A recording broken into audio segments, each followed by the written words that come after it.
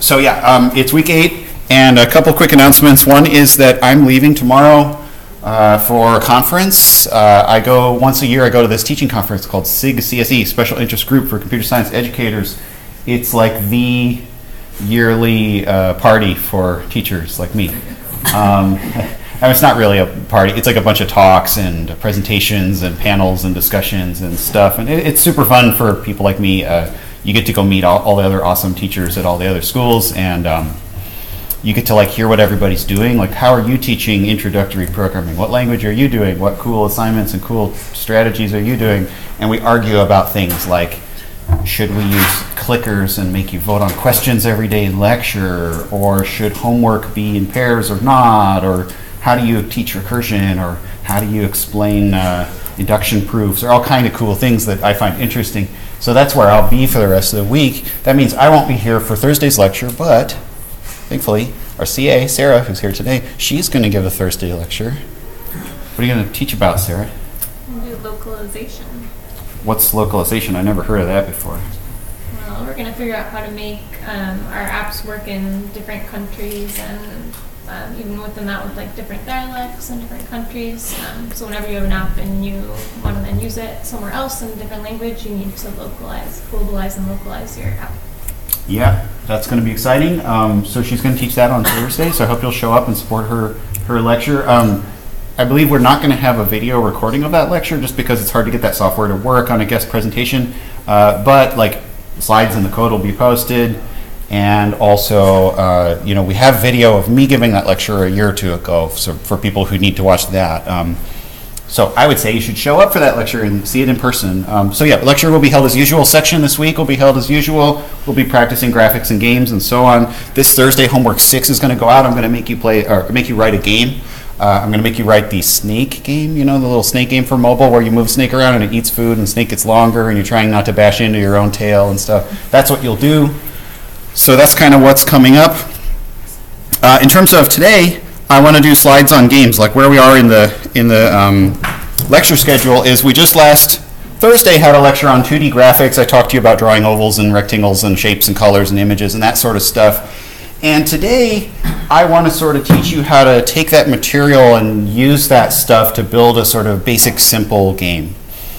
Um, last time we did a bouncing ball and we made some raindrops that would fall and stuff like that. So that's kind of a start. I want to talk to you about like if you actually want a little game, how do you bring all these pieces together? So I would say there isn't like a lot of new syntax or material today in the sense of like here's some new function you need to call or new library that you need to talk to. There's a little bit of that, but it's not a lot. More of it is just discussion of what issues are important and how do you address them in your code. How do you structure your code to make this stuff work well? That's kind of more of what I'm going to focus on today. Uh, so here goes my slides on making games. So the, the specific game I want to try to code with you guys, I don't know if we'll finish all of it, but I'd like to make a game that's like a lunar lander. I don't know if you've ever heard of this kind of a game before. But Lunar Lander is typically a game where you have a rocket ship and the rocket is sort of falling toward the moon. And the moon, of course, has gravity, but not as much as the Earth, so it's kind of like gently pulling you down toward the surface. And your job is to sort of land the rocket on the surface without crashing. And you crash if you're coming in too fast, if your velocity is too fast. And you have a thruster that would fire up to kind of diminish your velocity. And so you sort of have to like accelerate with your thruster somewhat but if you thrust too much, you'll start flying up into the sky and you'll fly away. So you kind of want to like manage your thrusting so that you land with a certain velocity. I just wanted to pick a really simple dumb game that involves some movement and some input and stuff like that. And I wanted to focus on things like uh, how to draw sprites with, uh, with, with images on them and how to do animation and how to do collisions between different things on the screen. So those are the sorts of things I want to worry about. The slide here has some specific numbers, and maybe we'll come back to them, but maybe we want to learn some things before we try to code this. Uh, if you want to play along, I've got a starter project for the Lunar Lander on the class website for today. So I think if you're going to code a game, we talked before about how sometimes if you make games, you could use some big library like Unity or something. And again, I'm not going to teach you that in this class, but if you were going to do a game from mostly from scratch, what you would probably do is make a class to represent little in-game objects on the screen. So those are often called sprites. Maybe you've heard that term before if you play games. But a sprite is just sort of a, an entity that is of interest in a game. That could be your character if you're moving around Mario or Pac-Man or whatever. It could be a monster that's trying to touch you. It could even be just a little a little uh, prize like a coin or a pellet or a, a fruit or something that you're trying to get. It could be just any object of interest. Sometimes you even think of sort of unmoving objects like walls or pits. Those could be represented as sprites, depending how your game is coded. So you usually would want to write some sort of class to represent sprites. Uh, it, so the, the way I've structured these slides today is I'm approaching it as if we're inventing how to make a very simple game library together. And then secretly on the side, I have basically written some of this for you as a class called G Sprite. Uh, that is part of the Stanford Android library that I introduced to you last week. And so if you use my little library, you will get a class that sort of does the stuff I'm showing you today. But, but again, like I don't like having magic libraries that you don't understand how they work. So uh, I think the reason I'm doing it this way is that then you kind of see like how I built this and kind of what this is really doing. So you won't feel like you're cheating by using this or something. Um, so what would you want to have in a sprite? You'd probably want to know like where it is on the screen. Maybe it's got an XY position. Um, Android's graphics typically stores everything as float numbers. Um, float in Kotlin or Java is just a real number. It's like a double. Um, I don't know if you've seen all these different types, but like float is sort of a 32-bit real number, and double is a 64-bit real number, and so like float is kind of like you can have decimals, but you don't have to use quite as much space as a double would use up.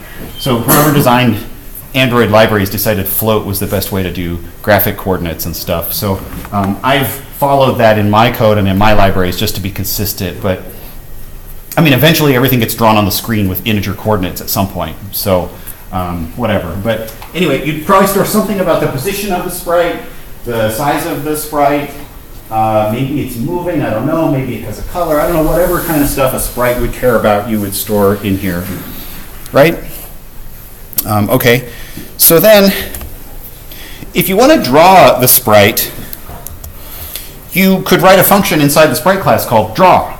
Now, you might recall last time that uh, when you do drawing, in, in Android, you have like a class that extends view, remember? And so usually those classes have a, a, canvas object that has functionality for drawing rectangles and filling ovals and this kind of stuff. So maybe you'd write a draw method that accepts a canvas parameter, which is like your paintbrush, and then you say, hey, draw the rectangle that's equal to my position and my size and use my paint color to draw it. So maybe now sprites are just like rectangles.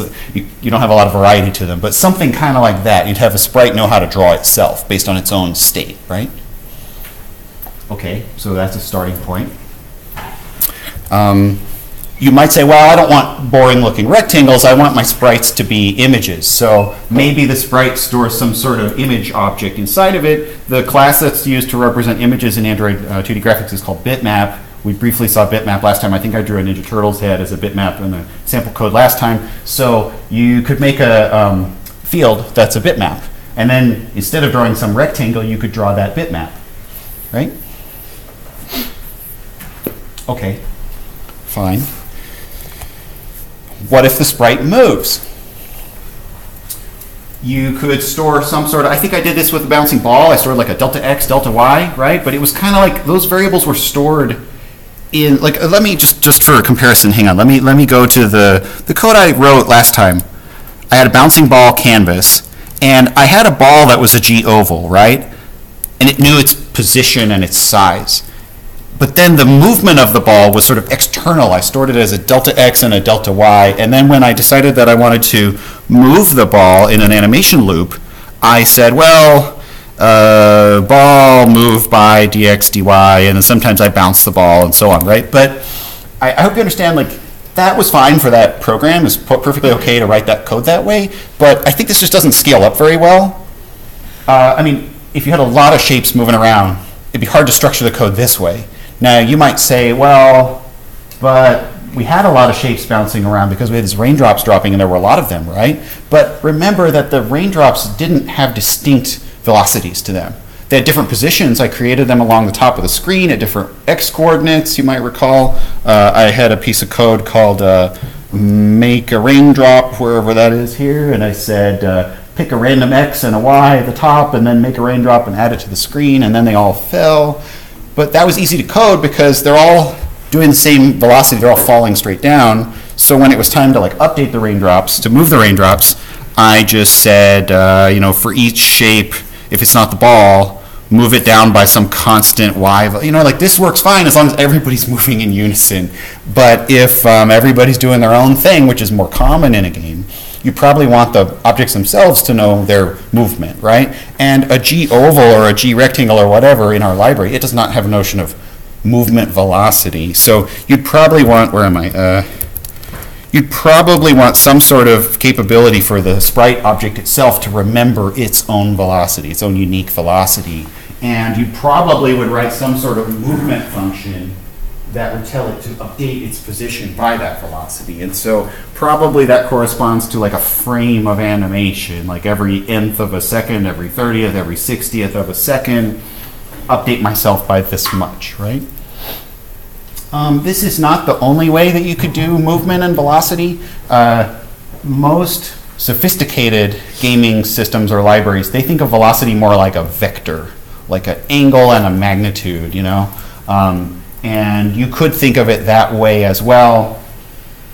I, I mean, it's kind of two ways of representing the same concept, right? Um, bless you. I, so I just chose to store it as a delta x and a delta y. But that's kind of a simple way of thinking of it. And then if you set like dx of 5 and dy of 0, that means each time you update him, he moves over to the right by 5 pixels, right? Does that make sense? Do you have any questions about that so far? Kind of how I'm, how I'm going about this, how I'm choosing to represent this?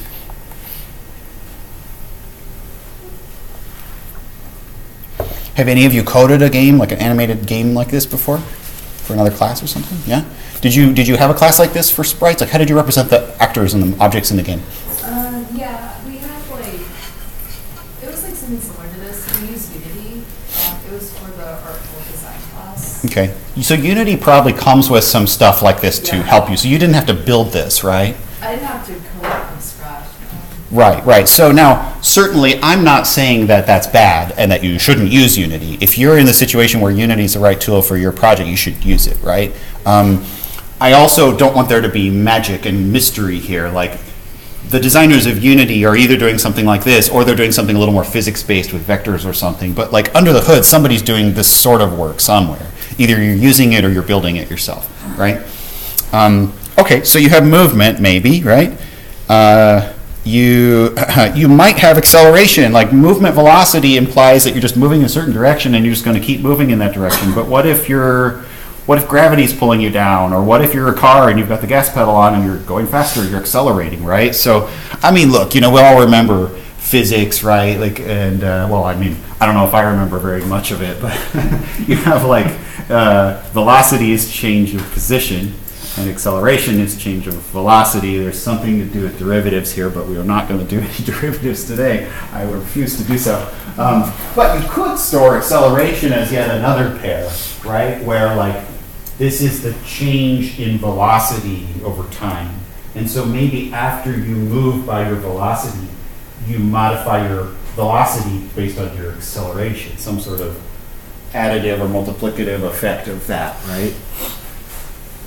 That is one way, again, that you could do that. You could represent acceleration. And what those values are depends what the acceleration is, right? Like I said, if, is it your car engine pushing you forward with a certain amount of acceleration, or is it gravity, whatever? Is it a collision with another sprite that launches you off in a certain direction? I don't know, whatever, right? It's a little tricky to get all the details right. Sometimes the signage is tricky because you're like you're accelerating down, so that's actually positive. You know, you have to be a little careful about about magnitudes and signs and stuff here. But uh, anyway, acceleration, right? Not too complicated.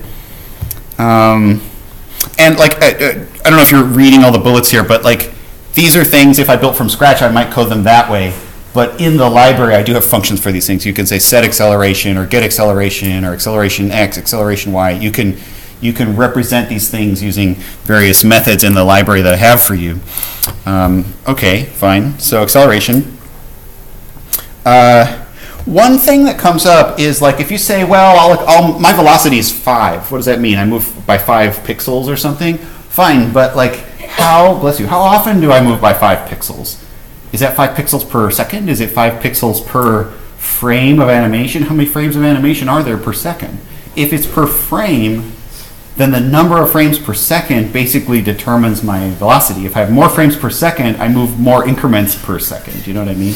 So like some games, I, I don't want to do this with you guys today, but some games have a little more um, variability in terms of how many frames per second they draw.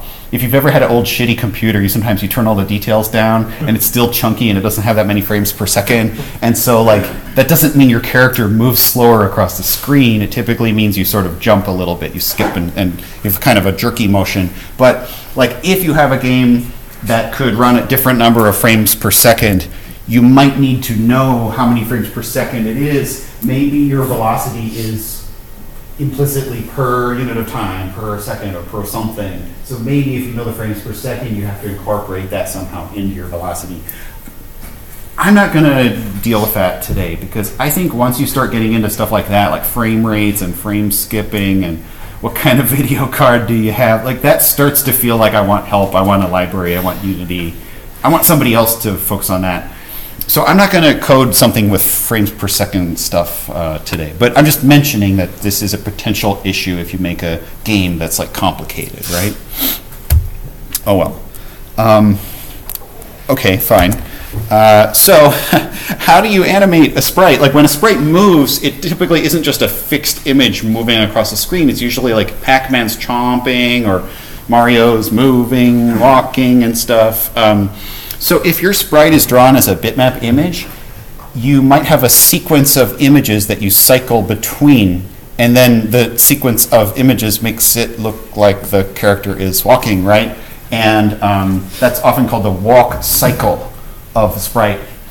And I do think it's interesting, like how many different bitmaps it takes to produce a nice looking walk cycle. Uh, I don't know if all of you know all these characters, right? Uh, you know this guy, right? Who's that? Mega Man, yeah, aka Rockman if you're a Japanese uh, game player. Uh, who's that dude? The dude from Castlevania, aka Simon Belmont, yes. Uh, you all know the top one, that's Mario, of course. Uh, who's this guy? Do you know him? Hmm. Hmm. Who's that guy? Uh, his name is Guybrush Threepwood. He's the hero of a video game called The Secret of Monkey Island. And if you have never heard of that, then shame on you. Your unofficial homework assignment is to go try that game, which is delightful. But anyway, different characters have these different sequences of images, and you can have a lot of images so it looks really smooth. Or Mega Man has like three pictures one, two, three, one. You know, it's just, it's interesting how few, like, that's not a very smooth animation, but it kind of gives him a like cool looking like walk, even though he doesn't have a lot of different pixels, uh, different uh, uh, uh, pictures, different images uh, to him. So okay, fine. Like if you were gonna build a game and code a game, like how would you do this? Well, I think in the code a few slides ago, I had a, a, a field, an instance variable that was a bitmap. And I think what you might do instead is have some list of bitmaps, and then over time you have some current one that you're drawing, and every so many frames you would update the index of which one you're drawing. So for the next 10 frames, draw this bitmap, then increment your index, and for the next 10 frames after that, draw the next bitmap. So you'd, you'd have some sort of list or collection of bitmaps to draw, and some notion of which one you're currently drawing, and also some notion of when to move to the next one. Um, you don't just move to the next one every frame because then your character looks like they're you know seizing up or something. They just they move so fast it's just ridiculous. Um, if you look at this, he's, I don't know exactly what the rate of change is here, but this is probably like every tenth of a second he changes pictures, you know, so you have some kind of notion of like every this many frames I'll switch what bitmap I'm drawing right now. So you would have to represent that in some way in your code. I think on the next slide I um, have an example. This is kind of approximate code, but like you could store, instead of a bitmap, you could store an array list or a list of some kind of, of bitmaps. You could store a current index that you're at of zero, um, and then how many like frames per bit, how many, how many frames do you go before you change bitmaps? So you'd say on each movement, you do whatever else, you do your dx and your x and all that kind of stuff, but you also increment what frame you're on, and if you get to the number of frames per bitmap, then you move to the next uh, index. You index plus plus basically, and then wrap it around if it gets to the, the size, the, length. And then uh, it's cut off a little bit here, but you you draw you draw the bitmap corresponding to what index you're currently at. So you would do something like that, right? In our library, you don't have to manage this list of bitmaps yourself. There is a uh, bitmaps property that can have multiple bitmaps in it, and you can set that property to be a list of bitmaps, and you can also set the number of frames. You can, so you can like set this stuff in the GSprite library, which essentially does something equivalent to this with that, okay? All right, so walk cycles. Um, uh, I put this slide in just to kind of uh, teach you history lesson for a second. Um, older games, you know, you can imagine like if you have that walk cycle and you have all those different pictures, like each of those might be a little file, like a little GIF or PNG or JPEG image file, right? So if you had a lot of different sprites and a lot of different walk cycles for them, and maybe they can face different directions, it starts to become a large number of image files, right? So you might have hundreds or thousands of these image files, and um, that can actually make a game slow to load, and it can have a lot of files, a lot of memory, a lot of load time to get the thing running, even for a simple dumpy two-dimensional game like this, which should feel fast. And so a trick that old game developers did was they actually packed all their images into one file, or at least large numbers of them into one file, like just consecutively in the same image, and it's called an image strip. So what you do is you would load the whole giant image strip in, and then you'd slice out a portion of it and you'd say, okay, that's this image and that's this image and that's that image, and you'd sort of cut the individual frames out of there. Lots of old games did this. And uh, I wrote a Pac Man clone once, and I really wanted it to look like the real game, so I was able to extract this artifact out of real Pac Man, which has all the images right next to each other, and I used it as an image strip for, for my game. And so, of course, that meant that my game looked a lot like the real game because of that. But anyway, um, you can do that in Android, but uh, I don't think you need to do that for for our class or just in general. I just I thought this might interest you that like old game programmers were very crafty in terms of like cute tricks to like save some memory, save some files, save some bits, save some frames of animation because uh, a lot of times the the hardware that they were running on was like very shitty and it like had you know it was like a couple of megahertz processor or something or it didn't have a lot of video memory or didn't have a lot of file storage and so they had to like hack and trick and do cool things like this so um, yeah that's what an image strip is uh, okay so well let's um, before I go on any further, I want to play. I, I talked about how we're doing a lunar lander. So why don't we talk about this a little bit? How you could code some of this in uh, in you know in like a real app. So do I have a? Hang on a sec. Let me. Do I have a? Uh, okay, I don't. So I'll stay here. So let me let me go to the lunar lander project and just kind of show you some of these things that we just talked about and how you might incorporate some of them into your into your real Android program. So I've got the lunar lander. Wait, this is the wrong project. Sorry. Uh, here. I've got here's what I've got. I've got a lunar lander activity, which doesn't have very much going on. It's just a screen with most of the screen occupied by a big drawing canvas. That's where we're going to do most of the real work. And then there's like a play button and a stop button, just kind of start and stop the game. Um, so the lunar lander activity is not very interesting. It just has an empty kind of on create and there's a on uh, play click when you hit the play button. It tells the the main canvas view to start the game. When you say stop, it tells the canvas to stop the game. So the work we're going to do is really going to be in this like central canvas here, which is a subclass of view. Uh, it's called lander canvas. And so what I've done is this is a subclass of this G canvas. That's the uh, library that I've given you guys. Um, so remember that when you're using the G canvas, you write a function called init where you sort of set up your sprites and your shapes and just different things that you want to put on the screen. Once you've built them, you can add them to the screen, okay? So like if the lunar lander was going to be just a rectangle that fell toward the ground, you could do that by making a, you know, grect object with various coordinates. Um, the way the library works is there's a class called gsprite.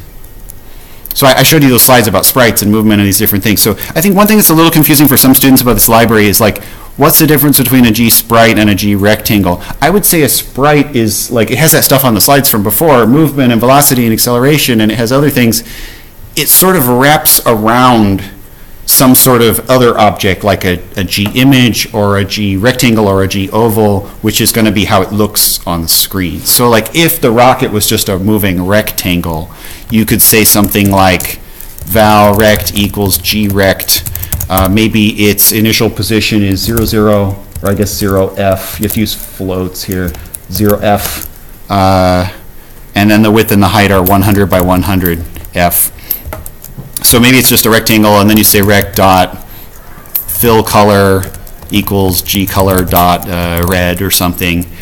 And so now what you would have done before is you would have said add rect, like add that rectangle to the canvas, you know? But instead what you'll do is you'll say like val rocket equals a G sprite that wraps up that uh, rectangle. That's kind of the idea. Or if it were an image or something, you'd tell it to wrap up that or kind of whatever. And then you could say add rocket. And now this rocket is kind of what you talk to in terms of velocity, acceleration, collisions, this kind of stuff. And so you don't really talk to this rectangle very much. It will use that rectangle to draw itself, I guess. Um, so uh, if I want the rectangle to fall toward the, the ground, I could say, uh, you can't tell the rectangle to have a velocity, you know, velocity. There's no velocity stuff there. But if you say, hey, rocket sprite, set your velocity maybe in the y direction to be, you know, I don't know, 10f or something. Then if I add that to the screen, like later if I want the rocket to move by that velocity, I can say rocket dot update, and update sort of makes it move itself and accelerate itself and kind of do what it needs to do based on its own state. So um, remember how we had a, a, a way of making the screen redraw itself at a given interval? Like we could say animate, and we could pass in some number of FPS, frames per second. I've got a constant called frames per second, which I think is like 30 frames a second and then you can pass a lambda of what you want it to do each time. So I don't like to write the code in here for what to do. I like to just make a function called like private fun uh, tick, which is like each frame, you know, tick away a frame. So I'll say tick, and um, maybe in here I'll say rocket dot update. Then it doesn't know how to find rocket. So what do I need to do?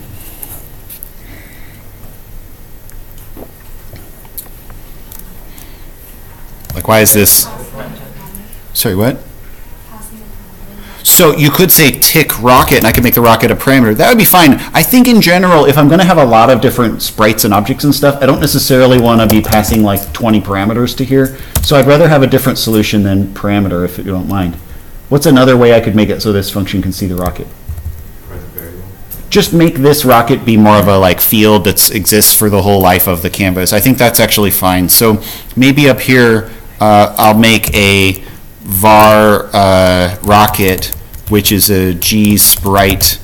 Um, now, you know, I, I've seen this with students before. Is like you guys often want to like initialize these to store some value, but I think it actually works the best if you just declare their types, and then down here in this init function, you give them their values. Because a lot of times you don't just set them equal to something, you also kind of do more stuff with them. So I think the initialization of these things should usually go down here. So if you just set its type, but you don't give it a value, then it doesn't like that, right? So um, you could set it to null, but it doesn't let you make a gsprite null. You'd have to make it a gsprite question mark. But I don't like that because then the whole program you have to write like question dot or exclamation dot. I hate that stuff. So the kind of the way to do this is you say late init, which means like it's only going to be initialized once, but it's going to be later. Um, so that's sort of the way I would do this. I'd say I have a variable, a, a private instance variable called rocket that's going to be a G sprite, and then down here I don't say val rocket, I just say rocket equals. So now down here it does see the rocket, and I tell it to update itself. Now, in terms of like where do I tell the rocket to draw himself? There's no code for that here. Um, so what's going on? Like, how am I going to see the rocket on screen? Do you know? Do you have a question or a different comment? I Or? I had a question. Uh, What's the difference between what you just did and then sometimes you do like a companion object?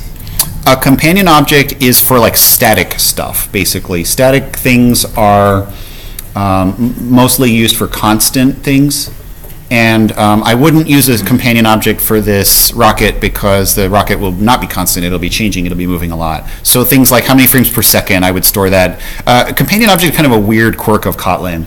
It's basically a hack where you can have things that are like if you have a class and you have 10 objects of that class, that typically means you have 10 copies of all the things 10 copies of all the instance variables 10 copies of all the functions etc but sometimes you have a shared thing that all 10 of them want to use together and you don't want 10 copies of. So if you want to do that in java you make that thing into a static thing which is shared through the whole class. In kotlin they make it so you create a single object called a companion object and all 10 of them can talk to that object it's essentially the same as something being class wide or static so it's kind of a quirky idea but that's that's where you they- basically that's where i'll put constants but it's not where i'll put instance variables like the ampersand in C++ where you don't like make a copy of stuff when you. Well, that's a slightly different concept. That's like referential, like uh, pointer semantics versus value semantics. Um, I mean, I do think there's a similar question there, which is like if two pieces of code or two objects or two things want to both refer to something, do I want them to each have a completely independent copy of the thing, or do I want them to share a single copy of the thing? That's a concept you have to think about a lot. Depends on whether the thing mutates. It depends on whether the thing is expensive in memory. Like, there's that. That's a general computer science question. I think in this case, like these are the state of the game, and I'll declare them as private fields, and they're going to modify as the game's going along. So my code will reflect that. This companion object stuff is sort of like a shared place for state that the game looks at, but it's not a place for things that are changing over time and mutating and stuff. So, yeah. Um, what about drawing this rocket? None of my code says draw rocket, draw rectangle, draw anything. Am I going to see the rectangle on the screen? If so, why? Or if not, what do I need to do? You know? Yeah. Sure. Is adding the rocket to the canvas not? Right. So the that's right. Adding things to the canvas implicitly will make the canvas draw them. Um, if you were not using a library and you were just raw creating your own view class, you have to write an onDraw method, and in that method you have to draw all the sprites yourself, draw all the objects yourself. One of the small things that this library does is everything you have added to it is implicitly drawn. Like I have written a class that, with an onDraw method that draws all the sprites in it. So that's right. You don't have to say, "Hey Rocket, dot draw yourself," because the library is doing that, right? So yeah. So if you say update, it will. I mean, you can actually jump inside. If you're if you're ever curious, like what are these methods doing? Where the code for this is all available on GitHub if you go to the link on the class website, or you can just like right click and say. Um, uh, what's the um, is it analyze where is it under i thought it would be in here go to the declaration you can jump inside the library and it'll show you what it's doing but it'll basically move the shape by the dx and the dy of the shape if there's any acceleration it will use you know like it you can look at my code if you really want to um, but yeah, updating the shape will move it by its velocity that you have set. So, hey, let's let's just go play. Let's go run the lander. It doesn't really do much yet. The rocket ship is not supposed to be a rectangle, but uh, let's see if we see that on the screen.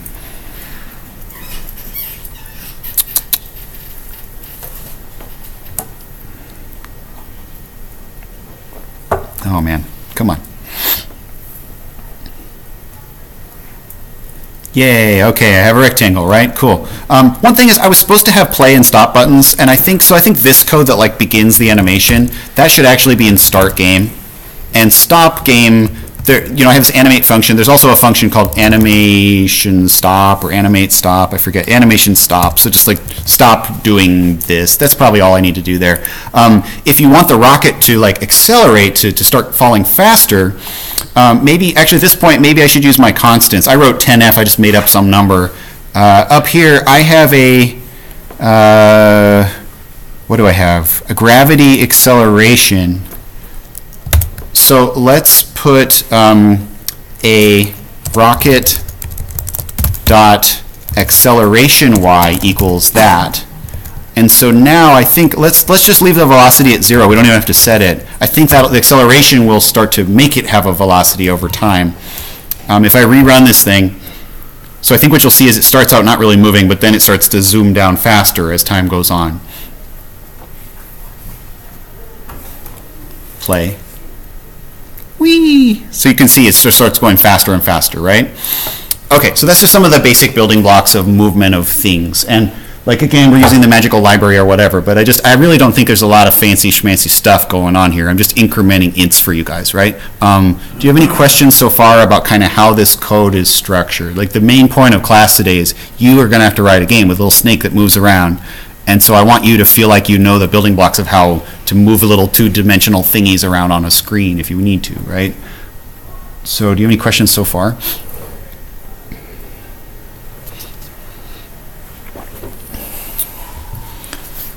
Okay, well, um, we, we also talked about making the rocket into an image. So uh, maybe the next step would be to, instead of drawing a red rectangle, which I just use as a placeholder, maybe we should draw a bitmap. So in the project here, I have some drawable pictures. Um, I have one called rocketship1.ping. What's rocketship 2?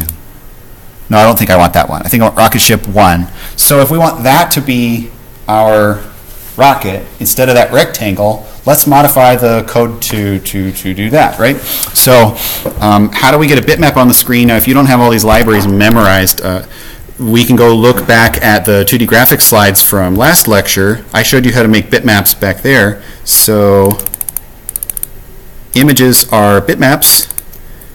So if you have, oops, sorry, uh, my mouse is kind of wigging out. Okay, if you have a bitmap, you can use the bitmap factory and you can decode a resource to load an image. So that's not my library, that's just Android. So if I want the rocket to be an image, I can go back to this code here and maybe I'll turn off that rectangle. I'll say val uh, rocket uh, image equals bitmap factory dot decode resource r dot drawable dot that image I showed you was rocket ship one dot ping so I write r dot drawable dot rocket ship one and then uh, when I make the rocket sprite I just pass the rocket image you pass in a shape or a bitmap or something and it'll it'll draw that thing for you you know okay so now when I run the program I hope fingers crossed I will see that picture falling instead of a red rectangle falling. Let's see.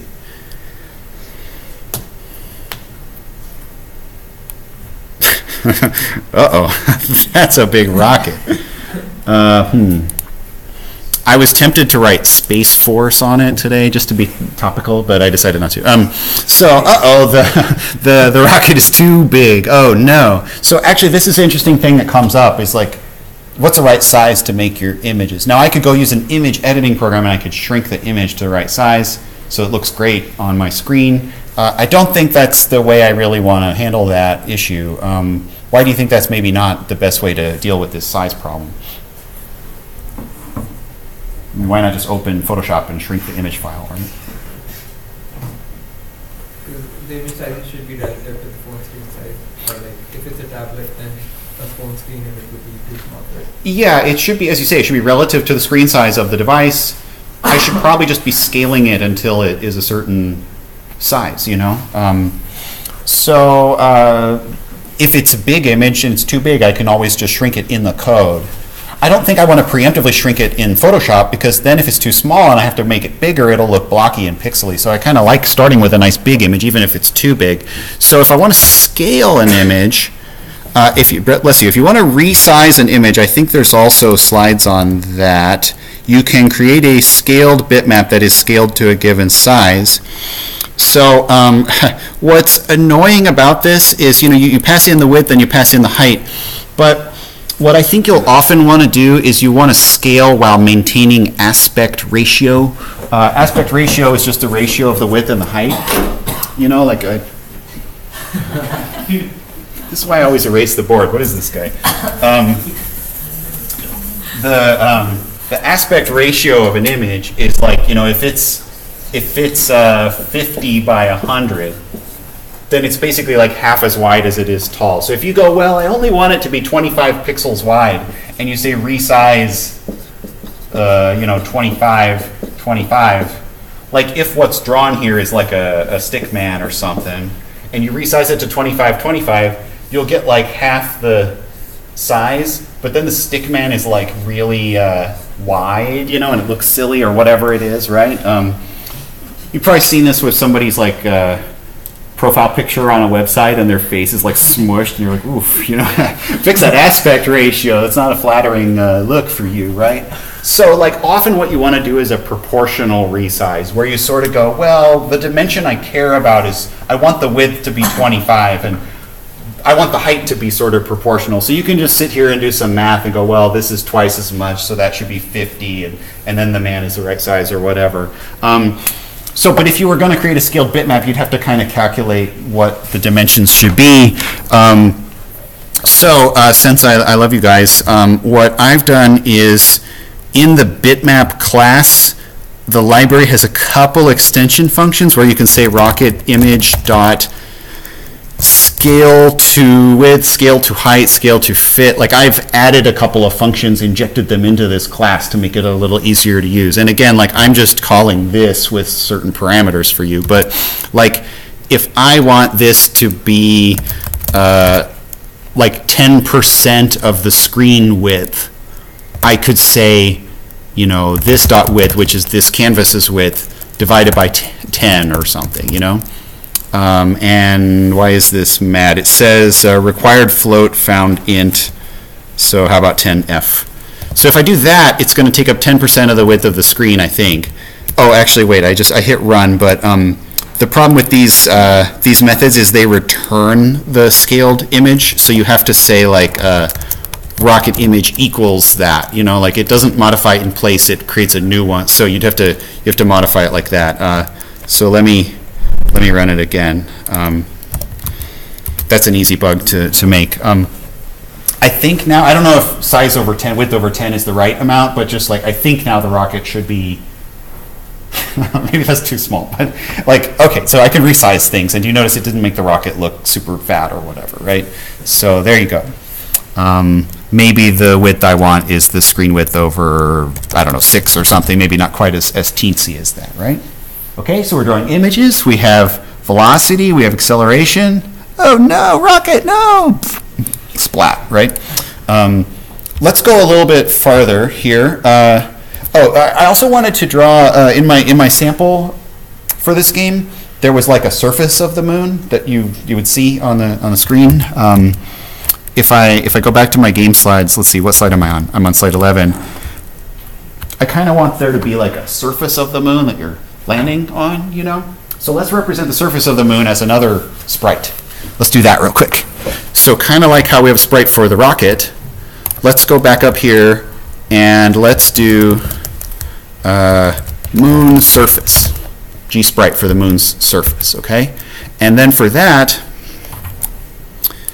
let's come down here and uh, let's do var. So I, I actually have a uh, I have a moon surface um, image, moon surface dot that looks like that, just like a blobby, you know, gray moon surface thing. I don't remember where I stole these pictures from, but um, okay. So basically, I want to do something kind of like this, but um, instead of rocket image, it's going to be moon surface image, and I'm going to decode moon surface drawable resource here, and then I'm going to say moon surface image equals itself.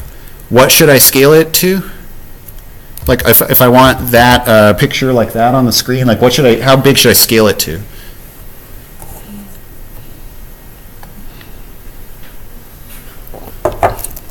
Like I want, I want this gray thing here.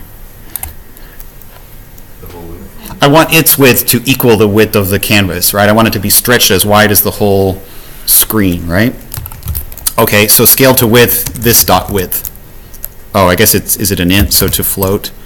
Fine, whatever. Um, okay, so now if I, if I add it to the screen, oh, I have to, I have to make the sprite. Moon surface equals a G sprite that contains that image. Right? And then I have to add it to the screen. But you don't just want to add it because, like, I also want to say where to add it. I think I kind of got away with, I didn't really set a position of the rocket, but that meant its position was zero, zero at the top left corner of the screen. If I add the moon surface just by that code there, the moon surface will be up at the top of the screen. So you basically want it to be at the bottom, so you can say moon surface dot, um, you know, dot x or dot y or whatever. Um, if you say dot y, you're setting the y coordinate of the top left corner of the thing. And so you could kind of calculate the, the bottom, you know, maybe minus the height of the moon surface, right? You could do something like that. The library also has a thing called where you say bottom y. You could say bottom y equals this dot height, so that it understands, like, make it so the bottom of the moon surface image is lined up with the bottom of the screen. So that's a pretty easy way to say that, uh, to float. Okay, so if I do that, then let's, let's give that a run and see if we see the moon surface there.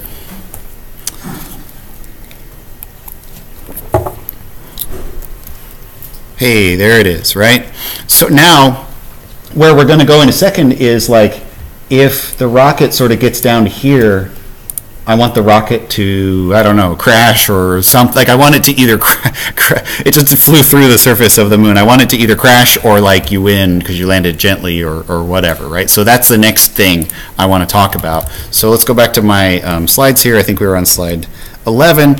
So once you're done drawing sprites and images and movement and velocity and stuff like that, you start to want to interact with each other. You want the sprites to kind of like collide with each other. Um, so you end up wanting to worry about collision detection. Um, just whether sprites have overlapped or touched each other on screen. Um, of course, you could imagine lots of different collision behaviors. If Pac-Man touches the fruit, he gets points. And if Mario touches the mushroom, he gets big. But if he touches the turtle guy, he gets hurt or he dies. You know, there's all kinds of what do you do when the sprites collide. Uh, that's up to you to code the logic for that. But like at least knowing, do the sprites collide? Here's this sprite. Here's that sprite. Are they touching or not? You'd like your game library to help you out. Now you might say that's not very hard to figure out. That, why do I need help with that? Collisions are easy, right? It's just like they're both rectangles and just see if the rectangles overlap in the x or the y dimension. Okay, that's fine. It's not that hard in theory, but there are some things about it that we should think about. Because like, I mean, I've drawn some pictures here of a blue rectangle representing one sprite and a red rectangle representing the other sprite. There's all kinds of different, like they might collide a little or one of them might be entirely inside the other one. So be a little careful getting the logic right on this. Um, if the sprites are rectangular, if they either are rectangles or they are images that are of rectangular shape, this is not so hard to do. You can just make rectangle objects to represent them, and then the rectangle classes in Android, there's a rectf class, and you can just ask it if two rectangles intersect with each other. So that's basically did they collide with each other. So that's not too hard to, to do. Uh, yeah. So with the moon surface example, the uh, position of the sprite itself doesn't seem to exactly match where the surface of the moon looks on the screen. Is there a way to somehow make the collision uh, only occur when it touches the surface of the moon? Yeah, that's a great question. I'm sort of partly repeat it for the video. Like you're asking, like this moon surface isn't super rectangular, and the actual boundary of that image is probably something like that, you know, or the vertical boundary is probably about here. So if the rectangle's falling and it gets, or the, if the rocket's falling and it gets to here, it might seem like it, it collided, but that, that feels like it'll collide too soon or something, right? So yeah, I'll, I'll sh- show that. I'm about to talk about that. But like, what do you do if the appearance of the shape doesn't totally match what you would like its collision behavior to be? So in a perfect world, maybe you would carefully look at these contours of this. And if the rocket was over here, you'd only want to collide when it got to here, not all the way up here. You wouldn't want a rectangular boundary. Or maybe if it's right here, it gets to fall all the way down this far. So you could imagine this very complex polygon that you're trying to intersect with a rocket. I mean, same thing for the rocket itself. Like the rocket is not purely a rectangle either. So, right, like what do you do? Well, I would say that most of us settle for something that is imperfect but but simple and kind of good enough. Like I don't think most people carefully check these contours of this shape. What people do instead. Uh, so well, uh, sorry. I'll, let me show you that in a second. So what you what you typically do is you have some sort of boundary object for your sprite that's like this collision box. So like it's a rectangular region around the shape. So even if your shape was a bitmap, even if your sprite was a bitmap, you'd have some kind of rectangle that you store representing the collision area of that sprite. And then if you want to know if you collide with some other sprite, you write some kind of function that says, well, do the two rectangles overlap with each other, right? That doesn't answer your question, but simplest form, that's what you do, right? And that basically works. So it gets a little more complicated when your sprites are not super rectangular. So I think this is a good example. Like on the screen, you don't see these bounding black boxes. What you see is Pac-Man is here, and you see that the ghost is here. So ignore the rectangles. It doesn't seem like they're touching. But if you just use these black rectangles to determine collisions, the black rectangles do overlap, and so your game will think that you've collided and you'll die. This is super frustrating for a game player. Maybe some of you have played a game where you're moving along and there's like a bullet coming by or a turtle shell coming by, and it seems like it misses you, but your guy falls over dead, and you're like, that missed me, that didn't hit me, that's not fair. And you're like, they don't have good collision detection in that game. It's very frustrating. So typically, you give a little bit of a margin. Maybe you've also played a game where the bullet or the turtle shell flies by and it actually does kind of graze your little guy. It actually touches him, but he doesn't die. And you go, ooh, okay, they gave me a couple of pixels of slack. Thank you, thank you, game, you know?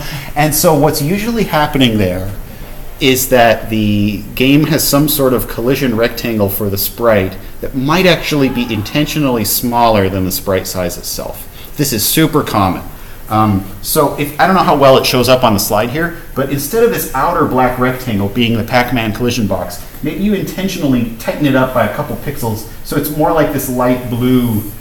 I don't think it shows up that well, but it's like this bright, bright blue box might be the actual collision rectangle. And for this ghost, maybe also you have a little bit of a smaller blue rectangle, and those do not touch in this picture. Therefore, Pac-Man and the ghost wouldn't collide in that example. Now that's not perfect either because the smaller rectangle misses some of the pixels of Pac-Man and the smaller rectangle here misses some of the pixels of the Ghost. But I actually think nobody cares. You know, gamers like it when it's a really close call, but oh, I missed, whew, you know? And you could do the opposite. Uh, if you have a good item that the person wants, like a fruit, you can make the box bigger. So it's like greedily you touch it a little, you, you get close to it and you lap it up and you're like, yes, I want that. So you can sort of tune your collision behavior to the what the gamer sort of wants. And like I'm not suggesting to have a carefully contoured circular collision box or a jaggedy jaggedy ghosty shaped collision box because frankly drawing these complex polygons and checking whether they intersect that's hard. It's slow. It takes a lot of time for the computer. A lot of times you want your game to go fast, fast, fast because you're doing like 60 frames a second and you have all these sprites colliding and you just kind of don't want your engine to have to deal with this stuff. It's too computationally expensive to do. You have to learn something about dot products and who wants to do that. So forget it. You you just make these little rectangles. So I mean, I guess to answer your question, to make the little moon surface have a more fair or more good feeling collision box, let's just arbitrarily pick that it'll be like about there-ish. You will just pull in the margins of collision a little bit on this thing, and that'll make it feel more, you know, more fair. Um, so let's let's code a collision real fast, both without this collision margin concept and then with it, and we'll see how we like the way that it looks. Okay, so um, if I go back to my code and I uh, I want to deal with collisions. So I do rocket.update. I don't have to do moon surface.update because the moon surface is not going anywhere. We are not uh, accounting for like the rotation or the orbit of the moon or something. I'm not going to deal with that. Um, if you want to know whether people are colliding, I often write a function called like do collisions or something. Uh, I could do that here, but I just kind of like to pull that out because that can often have some logic and some complexity to it. Uh, if you're doing collisions, you basically want to know if the rocket dot collides with the moon surface, right? That intuitively kind of matches what we want. So the rocket's falling, falling, falling. If its sprite overlaps with the moon surface sprite, again, the end goal here is if you're falling slowly, that's okay and you win and you land gracefully. And if you're falling too fast, you splat and you die. We haven't got that yet, but maybe if we collide at all, let's just make the rocket stop moving. So let's do rocket dot velocity y equals zero and rocket dot acceleration y equals zero. So just stop stop gravity from functioning if you get there. Okay. Uh, if if I make just that change and I rerun, I just want to see what that looks like. I think you'll find that it it works, but it stops a little early maybe because we don't have a collision margin boundary thing. So here we go. Okay, it kind of works, right? So like how how much of a margin do I want here? Well, the um, the sprite libraries. I mean, you could. This is all just math, right? You could say, well, if it collides plus 50 pixels, you could you could do that yourself. But the the library has a uh, feature called a collision margin. So you can set uh, you can do moon surface dot set collision margin. You can set it on all sides, so it just pulls in by that many pixels on all sides. Or you can set it on just the top, just the bottom, just the left, just the right. So I think we just need the top, you know, the top part when it collides. So like how much of it should be the margin. Maybe I would do, you know, usually relative coordinates are good. Like maybe whatever the height of the moon surface is, maybe I want like a fourth of that much or something. I, I don't know. I didn't I didn't like plan that out, but maybe moon surface dot uh, height over four f. Oh, I think it's mad because you don't have to say set collision margin top. You can just say collision margin top equals. I think that's what it wants me to do. That's fine. Now I'll rerun it again and uh, see you know, now it, that collides with function is taking into account these collision margins. And so this call on line 75 of collides with is going to look at that before it thinks that they have collided. So I think now it'll settle in a little. Now, uh, the other thing happening here is that the rocket has fallen a little bit behind the moon's surface, and that's simply a Z ordering issue. The sprites are layered in the order that you add them to the screen. So one way of getting around that would be to add the moon surface first and then add the rocket ship. Another way would be that I think all these uh, sprite objects and things, they have a like move to the top, move to the bottom uh, method. So, you know, maybe what I'll do is I'll just move this moon surface code up uh, to here, and I'll add the moon first. I just, I want to see the rocket, um, I want to see where it settles before it stops moving. So, uh, let's run it again.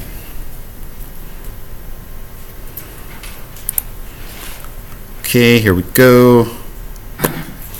That's a little better. It gives you a little bit of slack before it says that you've landed. You could tweak these things, right? You, you test, you run it, you see what feels right, you tweak it. And um, I think, I'm trying to remember, I'm pretty sure, this isn't in the slides, but I'm pretty sure there's a method in the library called like uh, set debug where it'll draw the collision boxes for you. Let me, let me double check this. I think it's G, is it G sprite dot set debug true?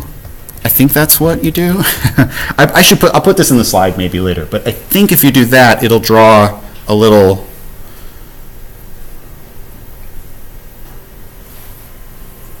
Yeah, it, it like uh, semi-transparent draws the collision uh, boxes, and then you can kind of see like oh bunk. So it, yeah, it's kind of cool, right? Um, it's a radioactive rocket, uh, I guess, right? Okay. Um, so yeah, collision margin. Like again, like I think something simple is good enough here. You don't need to contour the surface of the polygon perfectly. Just sort of yank in your rectangle until it feels kind of right, and then that that works for a lot of most common cases, I would say. Okay. Collision margin. Um, there are some bugs you can run into. I don't want to. There's a lot more you could say about sprite collisions. A pretty common issue is imagine your sprite is moving really fast. Its velocity is like such that it jumps sort of 10 pixels per repaint, per, per frame, per update, 10 pixels. And then you have an obstacle that's 5 pixels. Each of those updates might be so big that it teleports through the thing, the, the wall that it should have been stopped by. Do you see that? Like, because the shape doesn't move smoothly. Like you, you increment its position by 10, 10, 10, and you like teleport through, you like move through the wall. And there are like real games out there where like if you can get Sonic moving fast enough and he just like goes through the sprite or whatever. And sometimes you can, you can hack the game like that. But um, how do you deal with something like that? Well, I'm not going to write any code today to handle such a thing because our, our game does not encounter this problem. But one thing you can do, there's a lot of things you could do. Instead of jumping by 10, you can sort of incrementally move at each of the 10 pixels and check for collisions on each update. My library doesn't do that. You can also think of the sprite as occupying some sort of region which is the combination of its old position and its new position. And then you can ask whether that polygon collides with stuff. You can do stuff like that.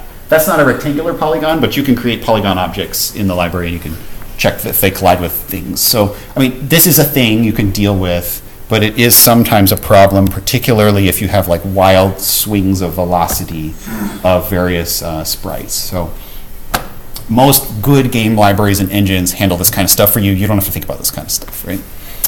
Um, okay, so I just this is a list of some methods. I, I think this is a summary of a lot of the things leading up to now. I already called some of these in my code uh, for creating sprites and adding them to things and checking for collisions and setting positions and setting sizes and uh, velocities and so I, I think I've, I've been doing a lot of this in my Lunar Lander code already, right? Um, Next would be you sometimes want your game to be flexible. You know, one of the things that Sarah's going to talk about in her Thursday lecture, she's going to talk about making your app work for different users. And that could be a user with a different device size, it could be a user in a different place, a user who speaks a different language. She's going to focus more on the like languages and countries type of stuff. But if you're playing a game, you know, some of you said to me like, you know, you want it to be relative to the screen size. I did a little bit of this in my code. I said this dot width divided by six or divided by 10. So I think in general, your game will work for more people if you write your code that way, as like percentages or fractions of the screen size. If you hard code in the size of things, it just won't look right on a bigger or smaller screen. Another trick you can do is you can draw the whole screen onto an off-screen image buffer, and then you can scale that whole buffer to be the screen size, and then that makes your game look bigger. That's useful if you want to have like a pixel art type of looking game where have nice square pixels that blow up big. Um, so I'm not going to cover that in much detail, but again, like make your coordinates be relative to the screen size. So, okay, let's talk about event handling because our lunar lander game is not very interesting if the rocket just falls and splats on the ground, right? So um, normally you want some sort of user input. Now this is a place where if you're an old school programmer, you have to adjust your thinking a little bit. In the old days, you'd listen to like keyboard and mouse events. You'd say, oh, the user pressed the space bar. The user pushed the left arrow key. I'll move my sprite to the left because they pressed the left arrow key. That just isn't how it works with a mobile device. You don't have keys, right? Like you can attach a keyboard to a phone, but if your game requires the user to attach a keyboard, I'm sorry, you're not going to make it big at the App Store, right? That's not how it works. That's just not what we do. There are some games where you plug in like a do any of you have a joystick that you plug into your phone? Like you can you can buy stuff like that, but I think in general most people build mobile sorry. I should learn not to pick anything up during class. Uh, I flail my arms too much to hold anything in them. Um, most games for mobile expect you to be able to control the game by mushing your fingers on the screen, right? You tap the screen, you drag, you swipe, you press. That's how you control in a mobile game. And so it's it's kind of like a mouse event where you click. If you took 106A or B, sometimes you handle mouse events that the user clicks and it gives you an XY position of where the user clicked on. That paradigm mostly works here, but instead of being a click, it's a touch. It's a user's touch event. Um, a touch event does give you an XY position, but like you have to think about things like you don't do as much of uh, uh, if you're doing mouse events in an old school like computer game. You might have movement events. If you move the mouse pointer around, maybe you light up information where the arrow is at. But you don't really move the mouse around when you have touch events. You sort of press it. It's like a click. So, anyway, if you want to handle clicks, you write a command called set on touch listener. This is not my library. This is just part of Google's um, view class or canvas or whatever. Um, you set an on touch listener and you pass a lambda function. The function takes two, of two uh, uh, parameters. One is the view object that you clicked on, which I don't think you need a reference to that because that's your canvas, so you don't need that. But then it also gives you an event. The event object has some info like where did they click, did they press their finger down, did they lift their finger up. So typically, I mean, I wrote this as a template. Like often, this is what I want. Where did you click? If you pressed your finger down, let me do something there. So that's a template for what we could do in our lander game. Remember, the lunar lander is like you thrust your rocket to adjust your, your downward uh, velocity. Your rocket has a thruster that shoots up, it makes you go up. So I think we could put some code like that into our program, like in the init, you'd say something like uh, set an on-touch listener. So um, what do we want to do here? Well, if you pressed your finger down, I want to, wait, why did that, why did that underline? Boolean versus unit. Oh, do I have to say true? Okay, I guess you have to return true. I think in my slide I forgot to write that. At the end of the function, you have to return a true. Um, but, okay, how do I represent this in the game where you press your, fi- like pressing anywhere on the screen means I want to fire my rocket thrusters, right? How do I represent that? Well, the thruster's supposed to move the rocket up or something like that. I think the mistake a lot of people make who haven't done a lot of GUI programming or game programming before is they try to write some code here that says like position minus minus, position plus equals five. You know, they, they start trying to like move the rocket right there. Do you know what I mean? But that's not quite how you should think of it. It's more like thrusting will make it so the rocket is now going to accelerate upward. And so then on future like frames of animation, on future ticks or updates or whatever, that's going to adjust the rocket's velocity. That's going to adjust the rocket's x and y coordinates.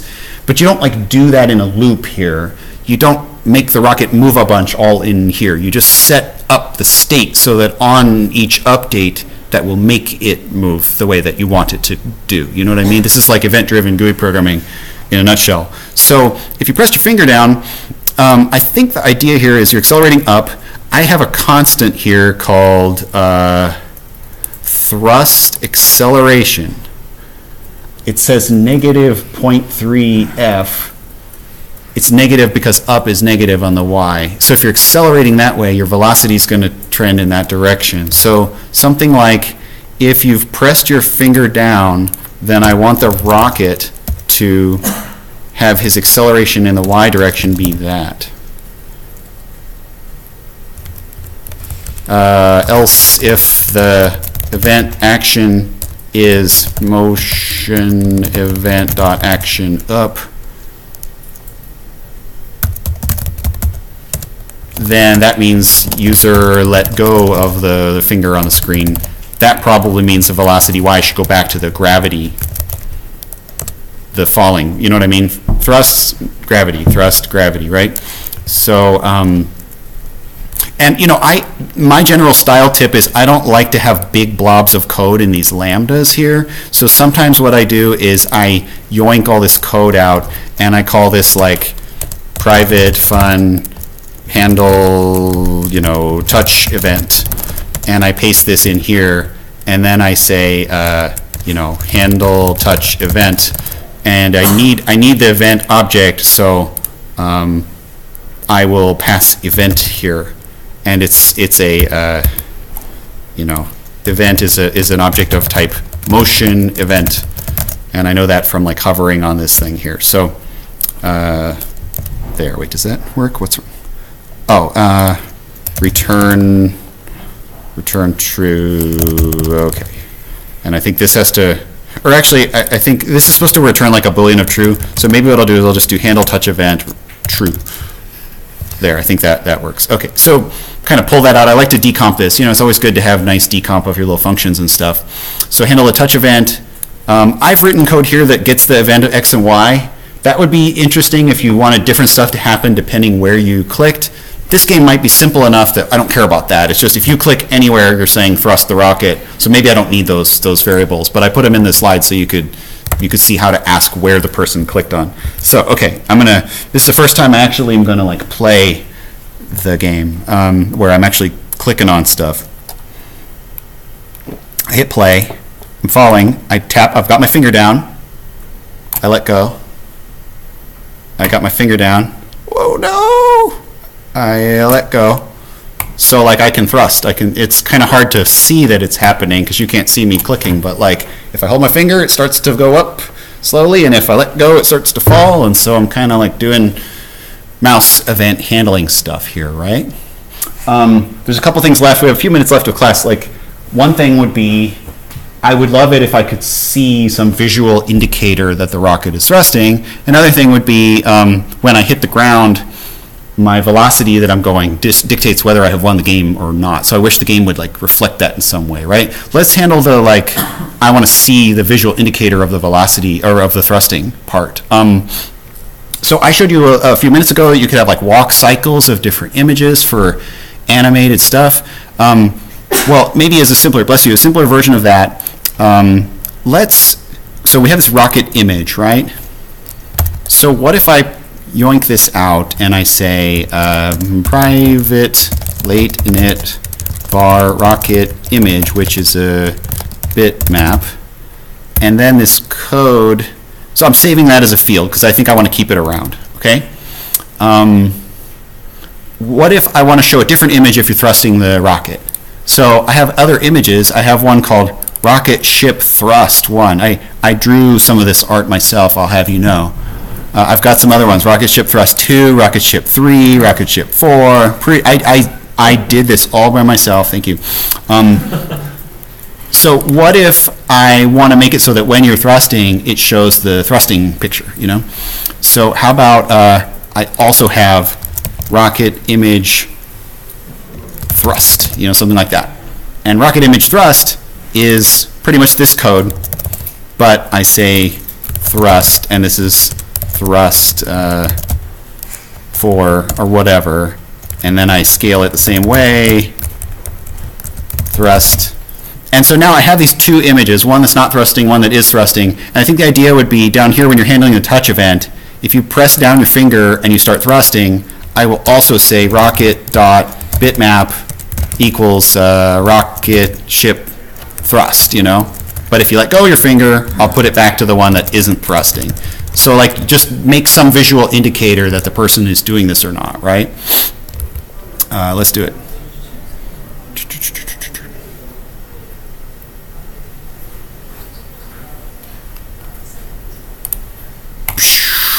Let go. Yeah, let go. So like, cool. I'm uh, I'm able to thrust the rocket. Um, it would have been better. It would be better if it had like a walk cycle, right, where it would do different little images as you're thrusting. Well, um, the way we could do that is we have we actually have four rocket thrusting images, and so I could modify this code. I think I have time. I could modify this code to be. Um, this could be an array list of bitmaps. So it's not just one, it's going to be four bitmaps. And down here, when I do rocket image thrust, I could do something like, um, you know, var rocket image thrust one. I could do, uh, so I got four of them, right? So I could do one, two, three, four. Exercise for the reader how to be less redundant than this. Um, two, I could do three, three, three, three, four, four, four, four. So I got four images here, and I could say rocket image thrust, which is the array list. I could add rocket image thrust one all the way through four, right?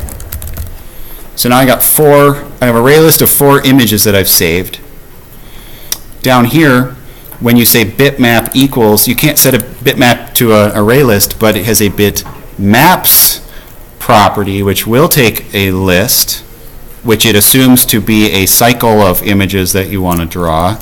You can also say uh, frames per bitmap, like how many frames before you want to toggle between them.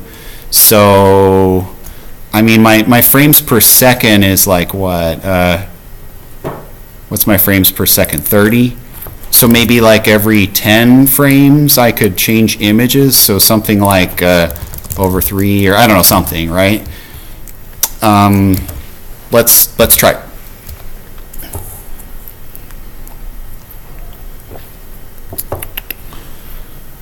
And look, like if this seems like magic cheating or whatever, I showed you the code for how to do this. You just save a list and you loop through the indexes and stuff, right? It's not that complicated. Okay.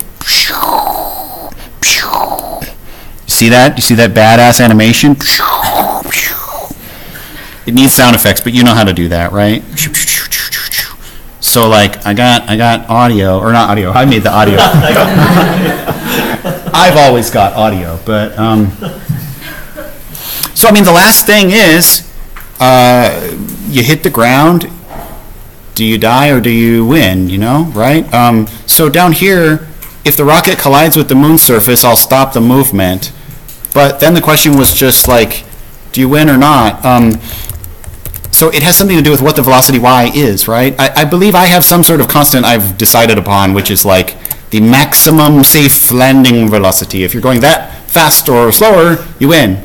So maybe something like, uh, da, da, da, if the rocket's velocity y is less than or equal to the maximum safe velocity, you win, else uh, you lose.